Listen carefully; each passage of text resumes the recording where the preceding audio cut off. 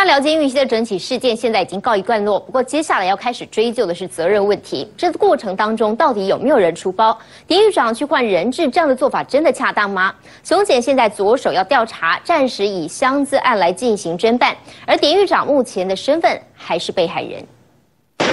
开枪！六名囚犯引弹自尽，留下不完美结局。这过程中到底谁出包？现在总统下令查办，熊检也开始追究责任。除了行政体系的狱政疏失，还有狱方的刑事责任。